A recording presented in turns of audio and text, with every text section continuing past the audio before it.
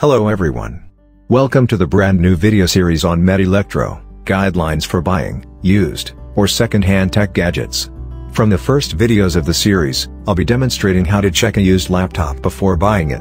Please watch the video until the end to get the maximum out of this video. Like, share and subscribe to my YouTube channel to get the latest videos to your notification bar. And follow me on Instagram to get the updates and news on upcoming videos as well. Let's get into the video. I will be describing a checklist that should be clarified before buying used laptops, and you can access the whole checklist via the link in the description. This checklist will be available in PDF format and you can download it for free and use later. First, physical appearance. First of all, you have to make sure that the device you are going to buy is in good physical condition from the outside, without any major cracks, damages and missing parts. Check the screen, edges of the laptop, web camera, lid of the laptop for issues in opening or closing the lid, connectors of the lid to the main body, touchpad, keyboard keys and whether backlights are working if available, charging port, USB ports, memory card slot, and the battery if it is removable. Check all these just from the outside look and make sure all are intact and usable. Because if there are any major damages, it can be even impossible to replace or repair those parts later. Then, check the charger with the cable. Specifically look at the connector of the cable to the AC adapter. Because most of the time chargers are damaged and, if it is, before buying the laptop, make sure it is available to buy for a reasonable price from local sellers or from online shops. Now connect the charger to the laptop and make sure the charging indicator is working.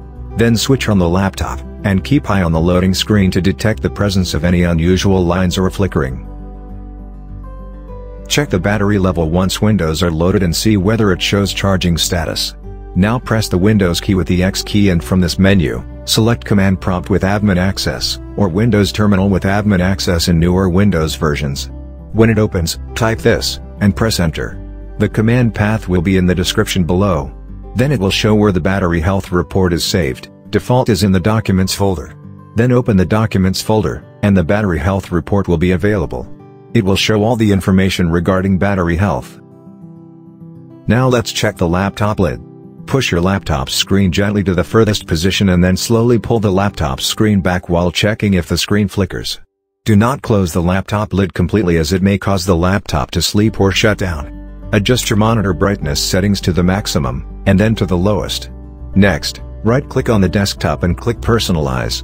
Or in Windows XP, click Properties. Click Screensaver and the click the drop-down list. Select blank as the screensaver, and click preview. The screen will now be black. Then look at your laptop display closely to determine whether it seems dark but there is still a faint image on its screen. Now we have to check the keyboard. Go to Control Panel, System, Device Manager, right-click on the listing for your computer's keyboard. Select the Scan for Hardware Changes option from the menu. The device manager will now test your computer's keyboard. If an error icon appears next to the listing, there is a problem with your computer's keyboard. Right-click the listing for the device again and select Properties for more information about the specifics of the error.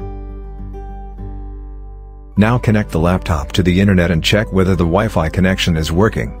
Open the Windows command prompt or the terminal, type the following command, and press enter. If the loss is 0% and no errors are shown, it indicates a healthy Wi-Fi card and connection. To check the touchpad, make sure right-click, left-click, two-finger and three-finger gestures including tap, double tap and scrolling, are working. Now check all the available ports including USB ports and headphone ports, using relevant accessories quickly.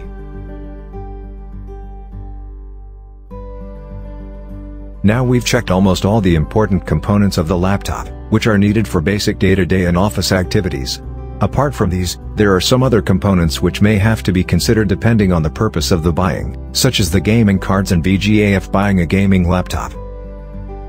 In a summary, check the laptop's physical external appearance, charger and cable, loading of windows, battery health, screen and the lid, keyboard, network card, touchpad, and available ports. Make sure you tick all the mentioned components before confirming. You can download the checklist directly from the link in the description. There are a lot more to come in this video series. Hit the subscribe button below and get all the video notifications when it is on air. Follow the Instagram page and stay tuned for more videos. Thank you for watching. Until next time, good luck.